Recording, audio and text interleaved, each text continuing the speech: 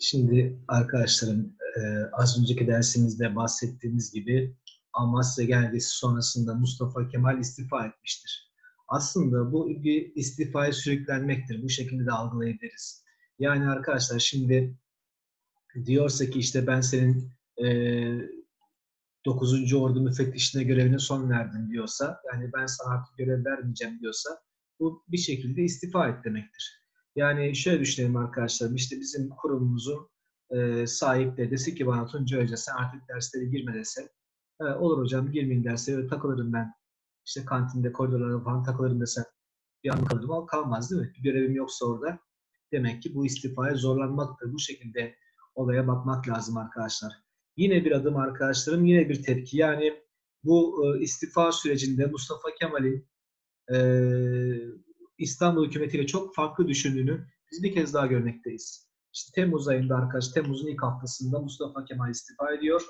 Yani İstanbul hükümetiyle Mustafa Kemal aynı düşünceye sahip olsalardı herhalde e, Havza genelgesinden sonra geri çağrılmazdı. Herhalde Erzurum Kongresi öncesinde istifaya zorlanmazdı diye düşüneceğiz. E, demek ki onlar çok farklı yapıya sahiptir. Şimdi arkadaşlar Mustafa Kemal Erzurum Kongresi'ne gidecek. Erzurum'a gidiyor. E, tabii ki burada e, şöyle bir gerçeklik de var. Erzurum Kongresi Mustafa Kemal dışında toplanan bir kongredir. Mustafa Kemal'in bu kongrenin toplanmasında bir dahili yoktur. Zaten doğudaki cemiyetler Erzurum Kongresi'nin toplanma kararını almışlardı. E, fakat Mustafa Kemal de bu kongreye katılmak isteyecek arkadaşlar. Erzurum'a gidecektir. Mustafa Kemal Erzurum'a gittiği zaman bir sivildir. Bir artık asker değildir. Ve Erzurum'da 15. kolordu var. Bu kolordunun da komutanı var Kazım Karabekir Paşa. Arkadaşlar 15. kolordu Osmanlı kolordusudur. Kazım Karabekir Paşa Osmanlı paşasıdır. Mustafa Kemal ise artık istifa etmiştir. Hiçbir görevi, yetkisi, sorumluluğu kalmamıştır. Şimdi bakıyorsunuz ki arkadaşlarım, e, Kazım Karabekir'le İstanbul'da yapılan konuşmalarda tabii ki kendisinin yanında olacağını söylemişti. Ama artık durum değişti. O zaman Mustafa Kemal askerdi, paşaydı. Şimdi asker değil, paşa değil. Yani şunu söylemek istiyorum. Kazım Karabekir'in Mustafa Kemal tutuklayıp İstanbul'a postalama gücü var mı? Vardır. Ve e, hepimizin bildiği bir, senaryo var arkadaşlar. Mustafa Kemal Erzurum'a gidiyor çalışma odasında. E, Kazım Karabekir'in geldiğini öğreniyor. İkisi karşılaşacaklar ayakta. E, Kazım Karabekir de böyle iri yarı, kalıplı, sert de bir e, kahramanımız, bir paşamız. E, Mustafa Kemal aslında arkadaşlar burada açık konuşmak gerekirse tedirgin olmuştur. Yani ne olur ne olmaz tamam konuştuk, görüştük, bağlılık bildirdi ama o o zamandı. Şimdi ben asker değilim, sivilim diye kafasından geçiriyor. Ama arkadaşlar hepimizin bildiği bir sahne vardır ki Kazım Karabekir Mustafa Kemal'e sert bir topuk selam veriyor ve ben ve kolordum emrinizdeyim paşam diyor ee, ve Kurtuluş Savaşı'nın arkadaşlar devam ettiriyor. Şimdi bu aslında bir dönüm noktasıdır. Yani Kazım Karabekir Paşa egolarına yenik düşse, Mustafa Kemal'i alaşağı edeyim ben Kurtuluş Savaşı'nın lideri olayım dese e, ve onu yakalayıp belki İstanbul'a gönderse, tutuklayıp İstanbul'a gönderse e, farklı şeyler olabilirdi. Dolayısıyla burada Kazım Karabekir Paşa'nın büyük bir insan olduğunu, büyük bir gönlüne sahip olduğunu biz e, bir kez daha e, görmekteyiz. Şimdi arkadaşlar e, gelelim Erzurum Kongresi'ne. Erzurum Kongresi toplanacak. Fakat Erzurum Kongresi'nin e, şekli, şemali arkadaşlarım bölgeseldir. Yani Erzurum Kongresi bölgesel toplanan bir kongredir. Mustafa Kemal Sivas'ta ulusal kongre düzenlenmesini istemişti. Ama daha önce Erzurum'da bir bölgesel top, e, kongre e, toplanma kararı almışlar. Kim almış? Doğudaki cemiyetler. Şark Vilayetleri Cemiyeti, Trabzon Müdafaa Cemiyeti, Kars İslam Şurası, İslam İhtilal Komitesi yani orada e, birçok cemiyet arkadaşlar, birçok cemiyet Erzurum'da bir kongre düzenleme kararı almışlardı. Mustafa Kemal ile Rauf Orbay da kongreye gidiyor. Fakat Mustafa Kemal ve Rauf Orbay arkadaşlarım burada doğudaki herhangi bir ilin temsilcisi değildir. Normal şartlarda hukuken kongreye katılma hakları yoktur. Hatta arkadaşlarım bu kongre üyelerinin bazıları da e, Mustafa Kemal'e güvenmemişlerdir. Yani diyorlar ki işte bu adam Kazım Karabekir'e söylenen şey bu arkadaşlarım. İşte bu adam düne kadar paşaydı, Osmanlı paşasıydı. Şimdi istifa etti. Biz işte e, ona nasıl güveniriz? Kimdir Mustafa Kemal? Ajan mı olacaktır? Ne bileyim bizim faaliyetlerimizi İstanbul hükümetine gönderecektir? Bu anlamda bir güvensizlik de vardır ama Kazım Karabekir arkadaşlar burada Mustafa Kemal'e büyük destek olmuştur. Mustafa Kemal de az önce bahsettiğim gibi e, üniformasını çıkarmış ve sivil kıyafetlerle kongreye katılacaktır. Fakat Mustafa Kemal'in de Rauf Orbay'ın da bu kongreye katılma hakkı yoktur hukuken. Ne oldu arkadaşlar bunun üzerine? İki tane Erzurum e, delegesi, Erzurum ilinin iki temsilcisi istifa etti. Onlar istifa edince arkadaşlar ne olacak? E, bu iki kişi yerine e, Mustafa Kemal ile Rauf Orbay kongreye katılma e, şansını elde edeceklerdir. Şimdi Erzurum Kongresi'ne kimler katıldı? E, hangi iller temsilci gönderdi diye sorarsa arkadaşlarım bakalım burada yazıyor mu? Yazmıyor. Onu şöyle yapalım arkadaşlar. Yazın isterseniz Erzurum Kongresi'ne temsilci gönderen iller sırasıyla söylüyorum. Siz de sırasıyla yazın arkadaşlar. Bitlis, Erzurum, Sivas, Trabzon, Van illeri. Bitlis, Erzurum, Sivas, Trabzon, Van. 5 tane il arkadaşlarım. 5 tane ilden temsilci gelmiş. Bitlis, Erzurum, Sivas, Trabzon, Van. Bu ilk 4 ilin baş harfleri arkadaşlarım best oluyor. Baş harfleri birleştirdiğimiz zaman best oluyor. Bir kodlama söyleyeceğim size. Ben biliyorsunuz çok fazla kodlama taraftarı değilim ama bu güzel bir kodlama olmuş. Best oluyor. İlk 4 ilin baş harfleri. Bitlis, Erzurum, Sivas, Trabzon ve sonuna Van eklediğimiz zaman bu Best Van Turizm vardı arkadaşlar. İşte Van'a, Van'a yolcu götüren bir otobüs şirketi Best Van Turizm. Reklamını da yapmış olalım. Oradan aklımıza gelsin arkadaşlar. Best Van Turizm diye aklımıza gelsin. Bitlis, Erzurum, Sivas, Trabzon, Van. E şimdi KPSS ne yapıyor? Bazen kodlamalarda kafa karıştırsın diye orada farklı e, harflerle, farklı yani be- benzer harflerle başlayan iller de söyleyebilir. Mesela Erzurum e, yerine Elazığ ya- yazar, Erzincan yazar. Siz karıştırmayın arkadaşlarım. Zaten kongrenin ismi Erzurum Kongresi'dir. Dolayısıyla o E harfi Erzurum'u simgeliyor. Böyle aklınıza gelsin. Bitlis, Erzurum, Sivas, Trabzon, Van diyelim. Erzurum Kongresi'ne temsilci gönderen 5 il bunlardır. Şimdi e, bunu şeyle karıştırmayın sakın. E, Mondros'taki bahsedilen 6 il var ya oradaki 6 ilde karışık çıkarsa işgal edeceğiz demişti. O 6 ile karıştırmayalım. Buradaki 6 ilde neydi Mondros'taki 24. maddedeki? E, Erzurum, Elazığ, Van, Diyarbakır, Sivas, Erzurum, Elazığ, Van, Bitlis, Diyarbakır, Sivas. Oradaki 6 ilde arkadaşlar. Bunlar da onlara karıştırmayalım. Ben de karıştır, karış, karıştıracaktım az daha. Şimdi arkadaşlarım Erzurum Kongresi niye toplandı? Erzurum Kongresi tekrar söylüyorum bakın toplanmış bakımından bölgeseldir. Bölgesel kongredir. Ne için? Doğudaki e, durumu ortadan kaldırmak için, doğudaki sıkıntıları görüşmek için toplanan kongredir. Ermeni devleti kurmak istiyorlar, işte Rum devleti kurmak istiyorlar. Doğu Karadeniz'de, Doğu Anadolu bölgesinde bunları önlemek amacıyla toplanan kongredir arkadaşlarım. Doğu Anadolu bölgesi ve Doğu Karadeniz'i ilgilendiren bir kongredir. Fakat arkadaşlar Erzurum Kongresi'nin toplanması e, ve e, Mustafa Kemal'in bu kongreye katılması, daha da önemlisi Mustafa Kemal'in bu kongrede arkadaşların başkan olması, kongre başkanı seçilmesi Erzurum Kongresi'nin niteliğini değiştirmiştir. Bu kongre bölgesel toplandığı halde ulusal karar almıştır. Milli karar almıştır. Şimdi bize sorularda şu şekilde gelecektir arkadaşlarım. Erzurum Kongresi'nin hangi kararı bölgesel, hangisi ulusal diye ayrım da yaptırabilir. Bakalım bunları tek tek konuşalım. Şimdi arkadaşlarım Erzurum Kongresi'nde diyor ki milli sınırlar içerisinde vatan bir bütündür bölünemez. Evet ilk defa milli sınırdan bahsetmiş. Ulusal sınır, sınır içerisinde vatan bütün bölünemez diyor. Milli sınır, ulusal sınır arkadaşlar. Misak-ı Milli'nin de maddesidir bu. Hatta şunu da söyleyeyim yeri gelmişken Erzurum Kongresi kararlarının e, çok benzerleri, bazen birebir aynıları e, Misak-ı Milli yer alacaktır arkadaşlarım. O Misak-ı Milli yeri gelince onu vurgulayacağız tekrar sizinle. Milli sınır içerisinde vatan bütün bölünemez. Acaba bizim milli sınırımız neresidir? Bu konuda fikriniz var mı arkadaşlar? Neresidir bizim milli sınırımız? Misak-ı milli sınırımız da olacaktır aynı zamanda. Biz bunu neye göre belirliyoruz?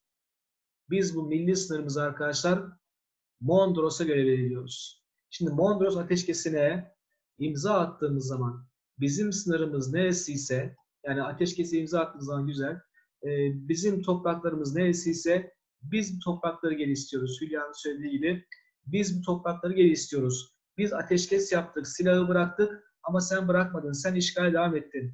Burada bir haksızlık vardır, burada bir hukuksuzluk vardır. Dolayısıyla senin ne yapman lazım? İtiraf devleti olarak Mondros'tan sonra 30 Ekim 1918'den sonra işgal ettiğin her toprağı bırakman lazım arkadaşlar. Bunu söylüyoruz. Milli sınır diye bahsettiğimiz şey Mondros'a imza attığımız sınırdır. Bir diğer maddesi arkadaşlar diyor ki İstanbul hükümeti bağımsızlığı sağlayamazsa, görevini yapamazsa Anadolu'da 6. sayım arkadaşlarım geçici bir hükümet kurulacaktır diyor. Bakın ilk defa farklı bir hükümetten bahsediyor. Geçici de olsa ilk defa İstanbul'a alternatif bir hükümetten bahsediyor Erzurum Kongresi. Bu acaba ulusal bir karar mı yoksa bölgesel bir karar mı? Tabii ki ulusal bir karardır.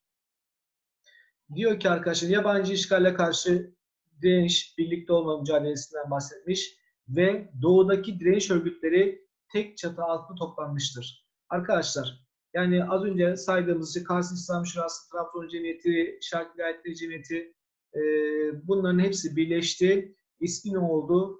Doğu Anadolu Müdafaa-i Hukuk Cemiyeti ismini almıştır. Doğudaki cemiyetler birleşmiştir.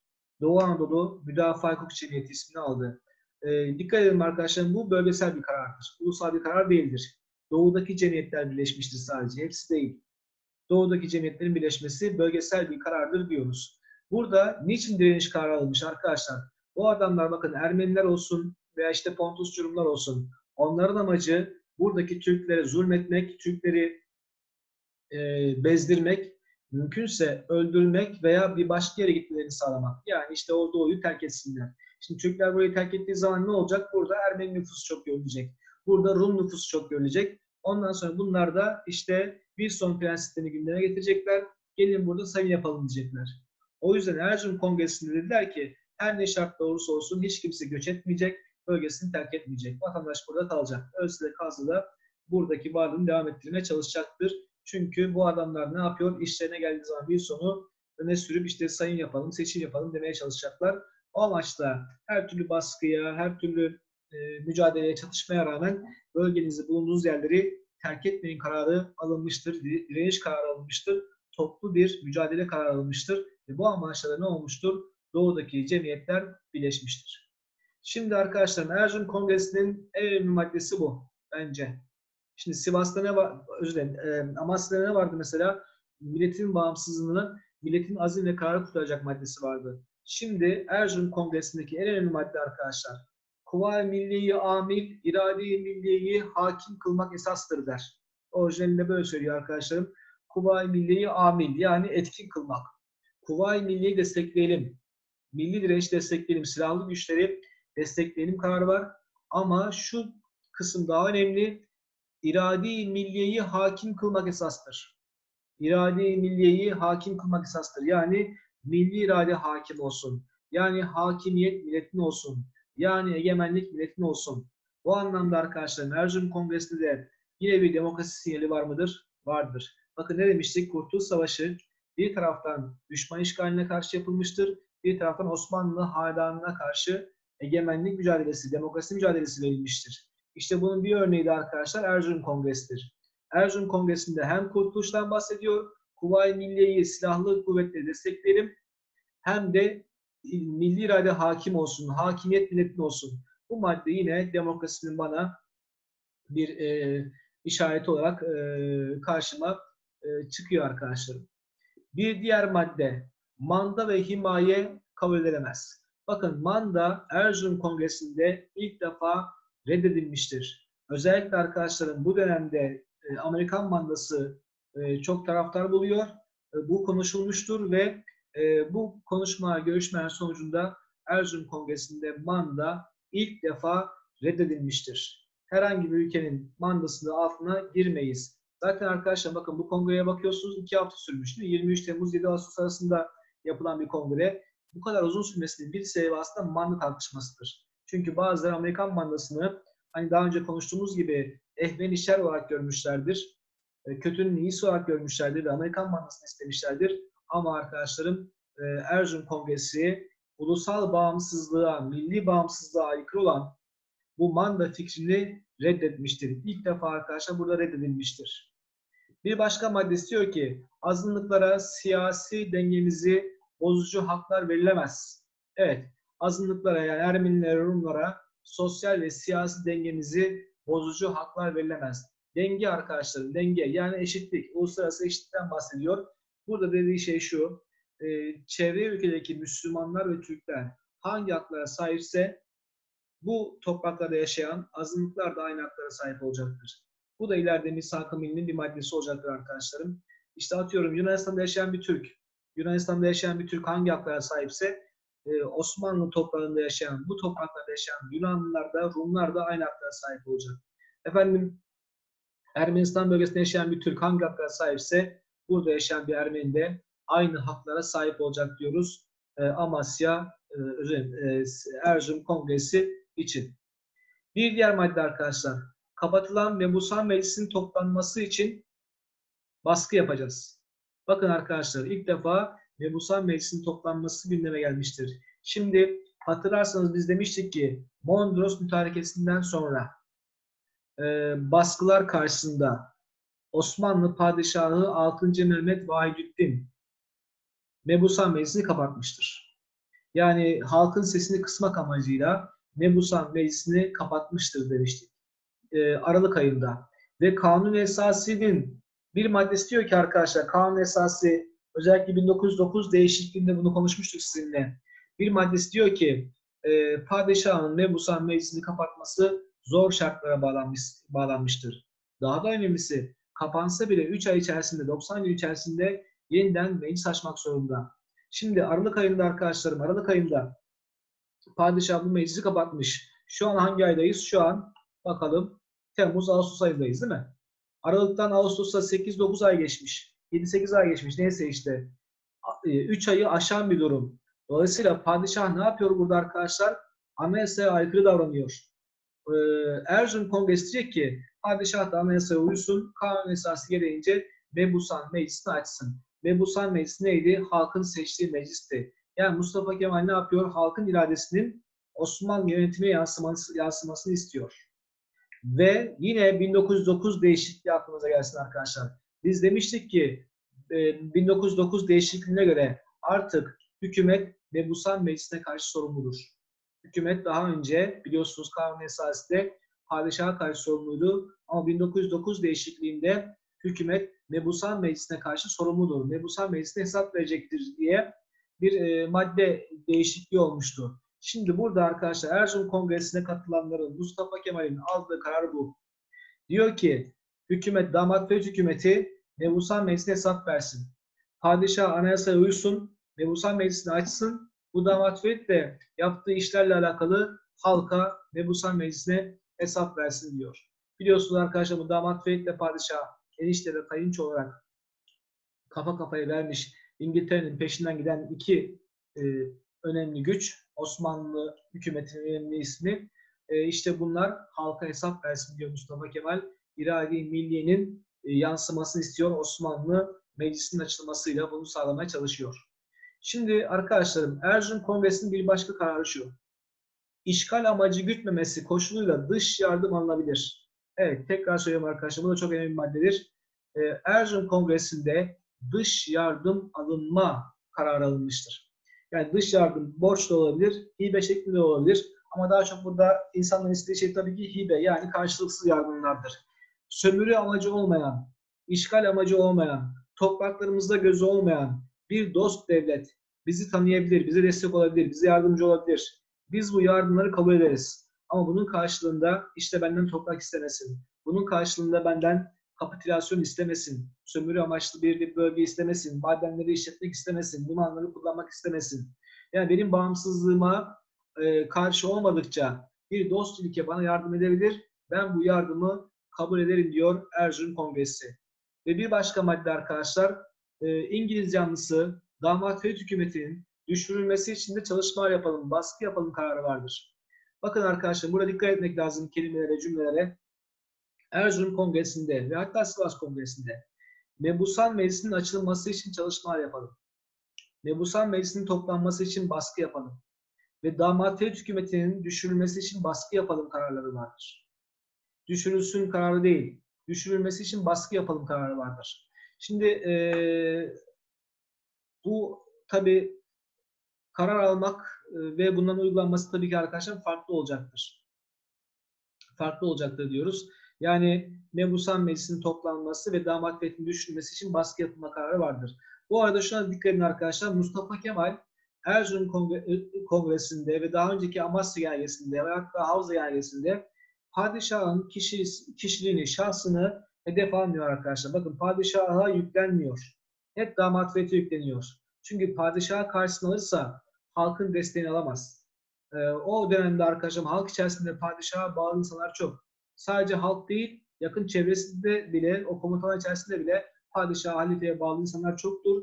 Dolayısıyla Mustafa Kemal burada padişahın şahsına, Vahdettin'in şahsına, onun şahsına bir e, karşı cümle kurmuyor ve damat fethi yükleniyor, hükümete yükleniyor. Hükümet öyle yaptı, hükümet böyle yaptı diyor. Padişahı çok fazla konuşmuyor arkadaşlar. Çünkü bu tartışmaları çok daha fazla gündeme getirmek istemiyor. Şimdi Amasya Yönergesi'nde demokrasi maddesi neydi? E, milletin kararı. Milletin azim ve kararı maddesi vardı. Erzurum Kongresi'nin demokrasi alakalı madde hangisidir? İrade milliye hakim olsun e, maddesidir. Arkadaşlar e, Erzurum Kongresi'nde ilk defa bir temsil oluşmuştur. İlk defa bir temsil oluşmuştur. Ve bu temsil arkadaşlar e, yürütme gücünü kullanacaktır. Evet burada evet burada söylemişiz. Erzurum Kongresi'nde arkadaşlar 9 kişilik bir temsil heyeti oluşmuştur. İlk defa oluşmuştur. Mustafa Kemal ulusal kurulun oluşmasını istemişti. Amasya Genelgesi'nde arkadaşlar demişti ki bu kurtuluşu sağlamak amacıyla ulusal bir kurul oluşsun demişti ve bunun Sivas'ta oluşmasını istemişti. Mustafa Kemal temsil heyetinin oluşmasını Sivas'ta öngörmüştü. Ama Sivas'tan işte yaklaşık bir ay önce arkadaşlar, bir, bir buçuk ay önce Erzurum Kongresi'nde bu heyet oluşmuştur. Bu kötü bir şey değildir arkadaşlarım. Mustafa Kemal temsil etme oluşmasını Sivas'ta öngörmüştü ama daha önce yaşanan bir gelişme ilk defa Erzurum Kongresi'nde temsil heyeti oluşmuştur. 9 kişilik bir heyettir, bir kuruldur ve arkadaşlar temsil heyeti e, bir e, bir e, hükümet gibi iş yapacaktır. Mustafa Kemal de temsil heyetinin başkanı olmuştur. Şimdi Mustafa Kemal'in arkadaşlar temsil heyeti başkan olması, evet Mustafa Kemal'in başkanlığında demişiz. Buna da önem verelim arkadaşlar. Mustafa Kemal'in temsil başkan olması artık onu e, sivil bir önder yapmıştır. Bakın Erzurum'dan önce Mustafa Kemal istifa etmişti. Hiçbir gücü yetkisi yoktu ama şimdi temsil heyeti başkanıdır. Temsil heyetinin oluşması, arkadaşlar temsil heyetinin oluşması artık İstanbul ile Anadolu'nun birbirinden koptuğunun göstergesidir. Mustafa Kemal'in de temsil heyeti başkanı olması e, Mustafa Kemal'in sivil önder olduğunun göstergesidir. Mustafa Kemal sivil önderlik yolu açılmıştır. O artık halkın önderi olmuştur. Çünkü o artık Osmanlı Paşası değildir arkadaşlarım. E, o kendi deyimiyle az önce bahsettiğimiz gibi e, Sine millete dönmüştür diyeceğiz. Şimdi Erzurum Kongresi ile alakalı birkaç görselimiz var arkadaşlar. Ona bakalım. Birkaç resim var ona bakalım. Bakamıyoruz şu anda. Biraz bekleteceğim sizi.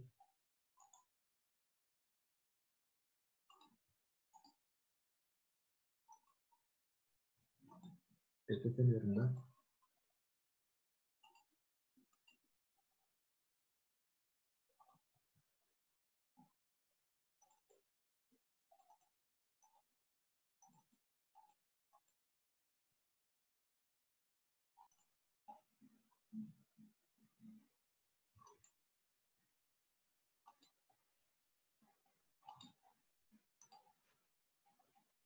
Evet arkadaşlar Erzurum Kongresi'nde Rauf Orbay'da Mustafa Kemal ile beraberdi. Şu an gördük mü resmini?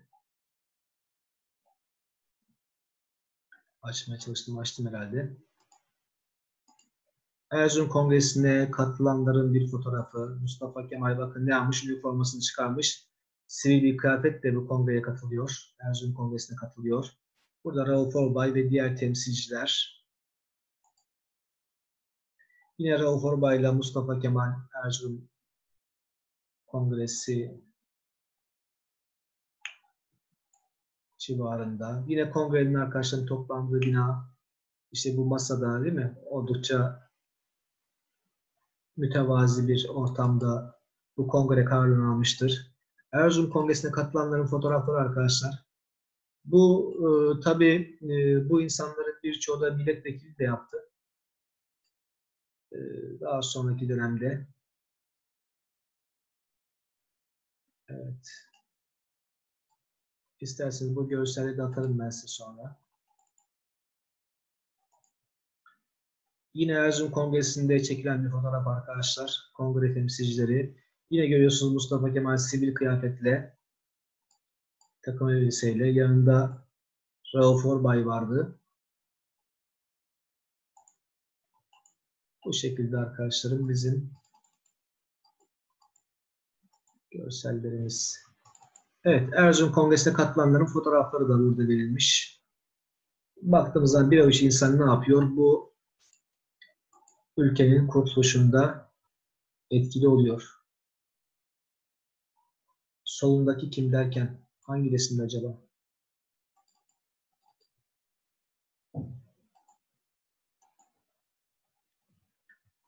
Bu resimde mi acaba? Sakallı amcayı mı soruyorsun? Şimdi Erzurum Kongresi'nde arkadaşlar evet Erzurum Kongresi'nde e, halkın her kesimi güvendiği, sevdiği müdafaa çenet üyeleri var. Bunların içerisinde arkadaşlar hocalar da vardır. Efendim e, askerler de vardır. E, aşiret reisleri de vardır. Halkın her kesiminden insan vardır ama bu tabii bu amcaları isim olarak bilmiyorum şu anda. Şimdi arkadaşlar Erzurum Kongresi'nin sonucuna bakalım sizinle. Ee, ne demiştik? Her adımdan sonra bir tepki ortaya çıkıyor. Havz'dan sonra geri çağrılmıştı. Amas'tan sonra istifa etmişti. Erzurum'dan sonra arkadaşlar Mustafa Kemal ve Rauf Orbay gibi önemli kişiler hakkında, Mustafa Kemal ve Rauf Orbay hakkında tutuklama kararı çıkarılmıştır. Mustafa Kemal ve Rauf Orbay hakkında tutuklama kararı çıkarılmıştır. Hani artık bu adamları tutuklayın, İstanbul'a gönderin diye e, valilere ve e, komutanlara telgraflar gitmişlerdir, gitmiştir. Mustafa Kemal arkadaşım artık İstanbul hükümetinin gözünde baş kaldırmış asi bir eski komutandır. Artık asidir o, artık e, baş kaldırmıştır e, ve tutuklanması öngörülmüştür diyoruz. Hangisinden önce, hangisinden sor, sonra soruları bizim için oldukça önemliydi. O sıralamaya arkadaşım dikkat etmek lazım. Evet, e, sonuç olarak arkadaşlarım Erzurum'da bitirdik. Önümüzdeki derslerimizde artık birkaç ufak tefek kongre var, onları konuşuruz. E, sonra Sivas Kongresi'ne geçiş yaparız. Zaten süreç ilerliyor. Sivas Kongresi, Amasya görüşmesi, e, Mebusan Meclisi'nin açılması derken İstanbul'un işgali, meclisin açılması, Kurtuluş Savaşı şeklinde derslerimiz devam edecektir. Bugün arkadaşlarım konuştuğumuz işte Havza, Samsun raporu, Amasya Önergesi, Erzurum Kongresi bunların her maddesini bilmenizde fayda var. Erzurum Kongresi'nde arkadaşlar bakın temsil heyeti Doğu'yu temsil ediyor. Onu da söyleyeyim birkaç dakikamız kalmış hemen. Temsil heyeti Doğu'yu temsil ediyor. Dolayısıyla bu bölgesel bir karardır. Doğu'daki cemiyetler birleşmiş ismi Doğu Anadolu Müdafaa Cemiyeti olmuş. Bu e, bölgesel bir karardır. Ama arkadaşlar işte milli sınır içerisinde vatan bütün bölünmez. Efendim azınlıkları dengenizi bozdurmayız. Dış yardım alabiliriz. Geçiş hükümet kurabiliriz. İrade milliye hakim olsun gibi maddeler ulusal kararlardır. Yani tüm milleti ilgilendiren sadece doğuyu değil, tüm milleti ilgilendiren kararlardır diyoruz. Bunlara dikkat etmek lazım arkadaşlar. Düşünüyorum benim aklımda başka bir şey var mı? Yok. Sizin sormak istediğiniz bir şey var mı?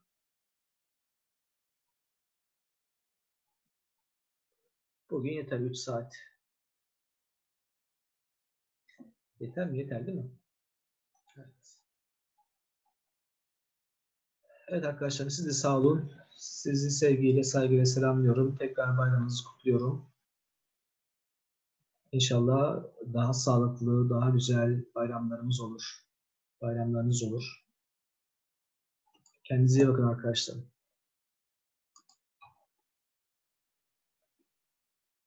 Yarın yapacak mıyız? Yaparız. Konuşuruz onu şeyde. Normal ders. Yarın normal ders yaparız. Normal ders yaparız. Onu bir e, grupta tartışalım arkadaşlar. WhatsApp grubunda tartışalım. Belki farklı fikirler de ortaya çıkabilir. Orada tartışalım, yaz- yazışalım yani. Hadi hoşçakalın kaçtım.